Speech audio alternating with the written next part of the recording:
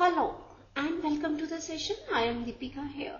Let's discuss a question which says write down a unit vector in xy plane making an angle of 30 degree with the positive direction of x-axis.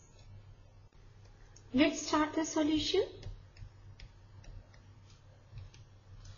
Since the vector lies in xy plane, therefore its z coordinate is 0, let vector A is equal to A1i plus A2j be a unit vector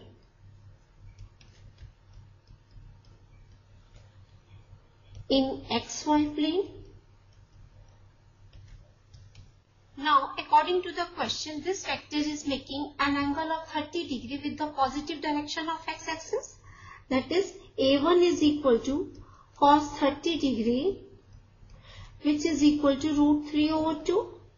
Therefore, A2 is equal to cos 60 degree and this is equal to 1 over 2.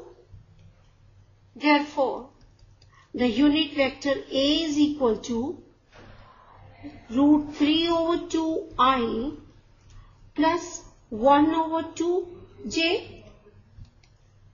Hence, the answer for this question is root 3 over 2i plus 1 over 2j.